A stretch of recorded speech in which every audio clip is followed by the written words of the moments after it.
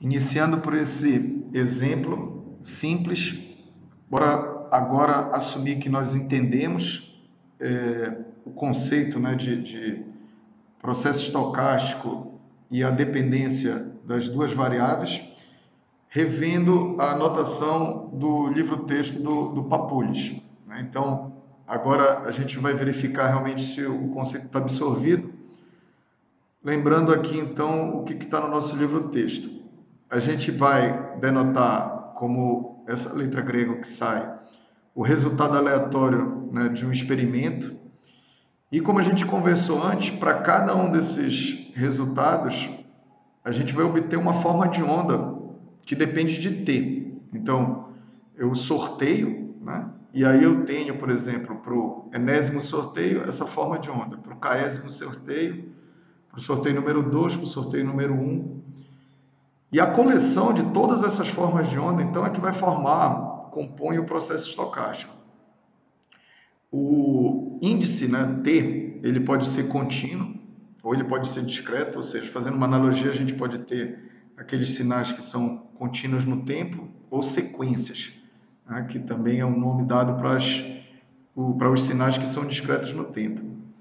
E se eu fixo né, o, o, digamos, o experimento em si, o resultado desse experimento estocástico, se eu fixo o que sai, aí eu tenho uma função no tempo específico. Essas funções, né, por mais que elas não sejam analíticas no sentido de ter uma fórmula fácil para trabalhar com elas, a interpretação que a gente vai dar para elas é semelhante a ter, por exemplo, uma função exponencial e tudo que a gente está acostumado.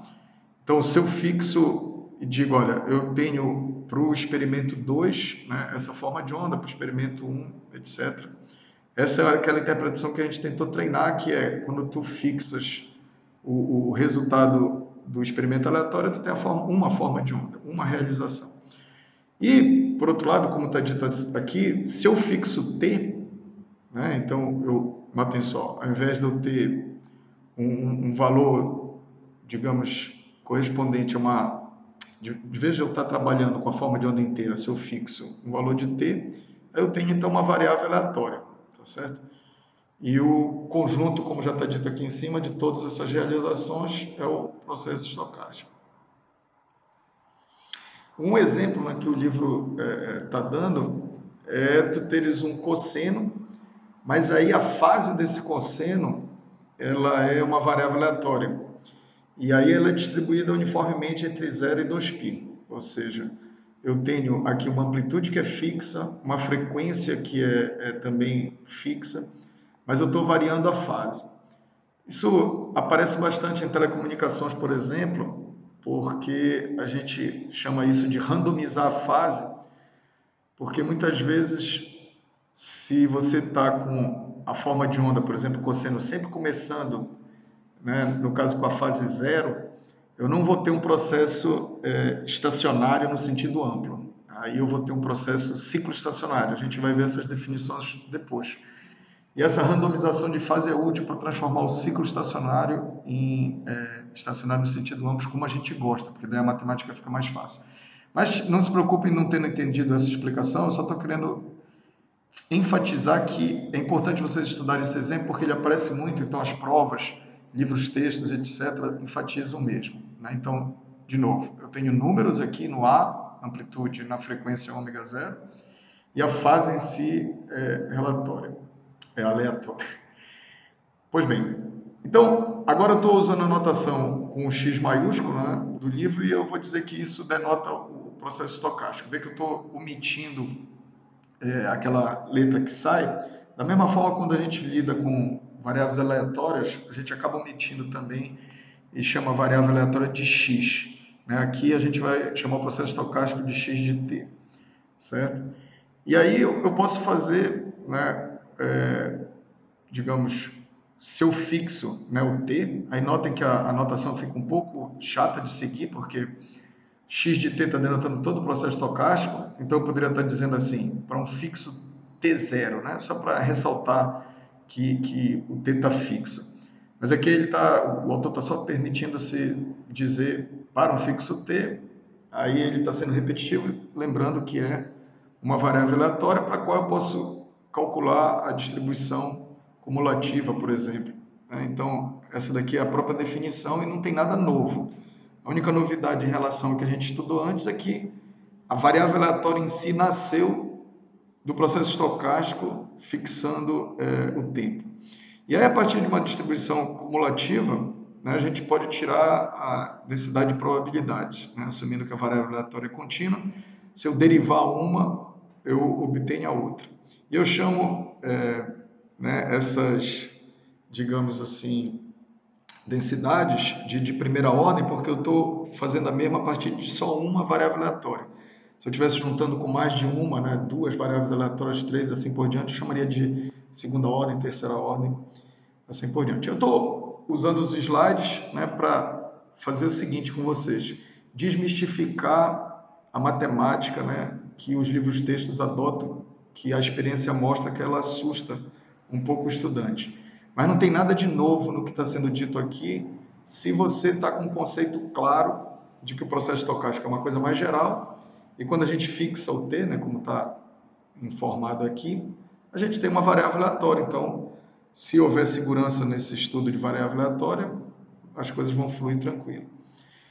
Quando a gente quer expandir saindo da primeira ordem, ou seja, pegando uma só variável aleatória para duas variáveis assim por diante, aí as coisas ficam um pouco mais complicadas, mas de novo, igual o que se tinha quando a gente lidava com x e y como variáveis aleatórias, certo? Quando a gente pegava uma f de x e y, certo? Uma, uma, por exemplo, densidade conjunta.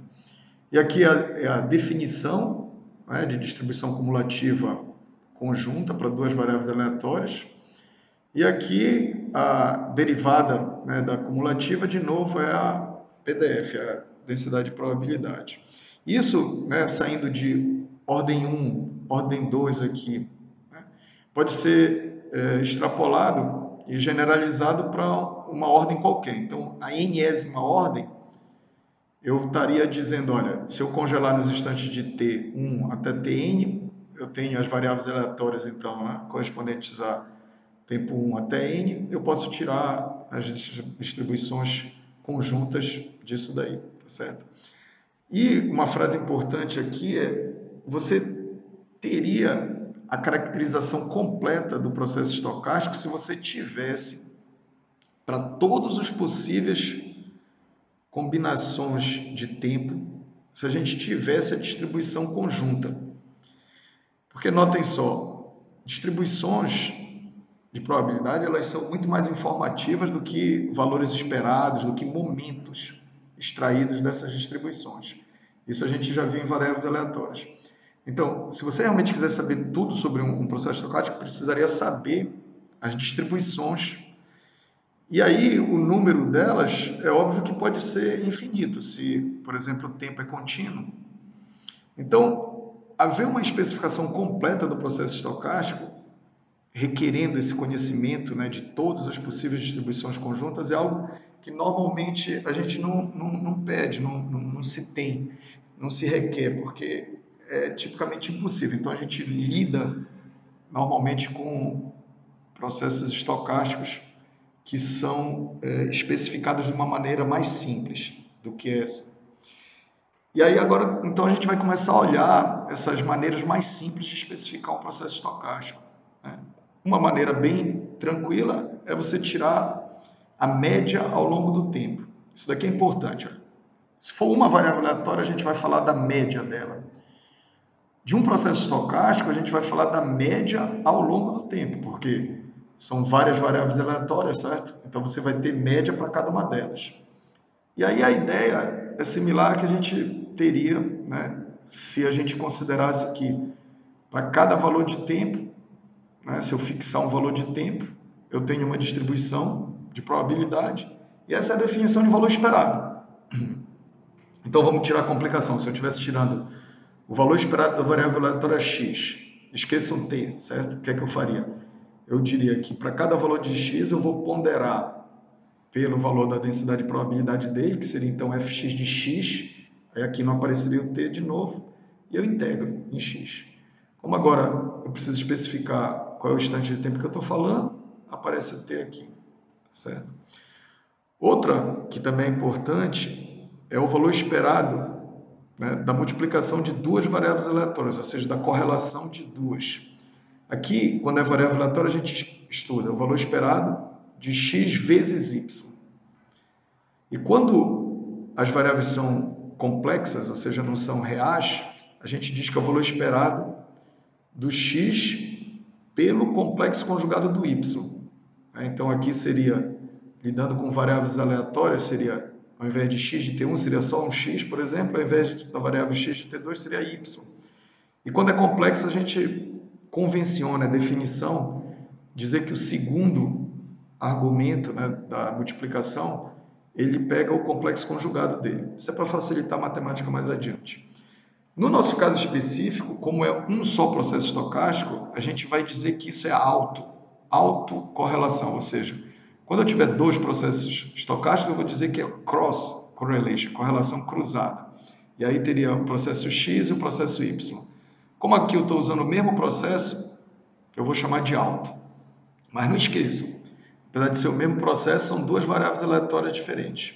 E a, a gente denota isso, autocorrelação, como é, R, tipicamente. E quando a gente for lidar com a cross correlation, correlação cruzada, vai ter R de x e y, por exemplo, sendo processo estocástico x processo estocástico y. Aqui, para designar, a gente está dizendo que é x e x. E muitas vezes os livros omitem e fica só R de x. Né? Mas aqui eu tenho que fornecer os dois instantes de tempo do, do qual eu estou falando, certo? E aí pronto, não se confunda com a fórmula, a fórmula é simples, ela é uma fórmula igual a que tu terias para duas variáveis aleatórias, mas eu preciso especificar o tempo, e aí fica essa notação aqui de uma função de quatro é, é, variáveis independentes, tá certo? Para nós, por que correlação é importante? Porque vai dizer qual é a relação que há em instantes diferentes do processo, tá certo? E aí, propriedades úteis é, pela definição que a gente usou, se eu trocar o instante T1 instante T2, ou seja, fazer a comparação da correlação entre T1 e T2 com a T2 e T1, eu vejo que ela é o que a gente chama de simetria hermitiana, ou seja, a gente tem o complexo conjugado dela. Então, se esse valor aqui era 3 mais J4, esse daqui seria 3 menos J4, certo? Na notação de número é, complexo na, na forma cartesiana. Se aqui fosse 5 fase 40 graus, quando eu inverto o tempo, seria 5 fase menos 40 graus, ou seja, o complexo conjugado. Certo? Por que isso? Ó, por causa dessa definição que a gente adotou. Quando eu inverto, eu basicamente vou inverter quem é que está sendo é, conjugado. Outra propriedade interessante é que se eu tomar a variável aleatória é, no instante t e olhar a correlação dela com ela mesma? Então aqui eu talvez preferisse denotar isso como T1 e T1, certo? Para indicar bem que são o mesmo instante de tempo, né? T1 e T1. Pois bem, o fato é, isso se a gente jogar aqui, olha, quando a gente multiplica um número complexo pelo é, complexo conjugado dele, isso dá a magnitude ao quadrado, certo? Então, se eu multiplicar o 5 fase 40 com 5 fase menos 40, as fases vão cancelar, e aí eu vou ter 5 vezes 5, que é 25, certo? Então, isso daqui é um resultado também esperado. E isso indica que essa autocorrelação aqui, quando é de um instante de tempo né, igual, as duas variáveis aleatórias são a mesma, ela vai sempre ser maior que zero. E toda vez que a gente tem uma variável sendo elevada ao quadrado, a gente vai interpretar como sendo potência instantânea. Né? Então, isso vem, por exemplo, quando você está vendo circuitos elétricos, a potência num resistor é tensão ao quadrado dividido por R. Ou então, se quiser fazer a potência com base na, na corrente, ao invés de tensão, fica corrente ao quadrado vezes R. Então, quando a gente lida com processos estocásticos ou processamento de sinal em geral, a gente assume que o resistor valia um ohm, um ohm, e toda vez, quer seja tensão ao quadrado ou corrente ao quadrado, ou seja, em geral, qualquer x, qualquer sinal x ao quadrado, a gente vai considerar que é potência instantânea. E se o sinal, x é complexo, a gente tira a magnitude desse número complexo. Então, voltando aqui, olha, toda vez que a gente vir é, magnitude ao quadrado, a gente vai considerar que é potência instantânea. E se a gente está tirando o valor esperado dela, então é a potência média.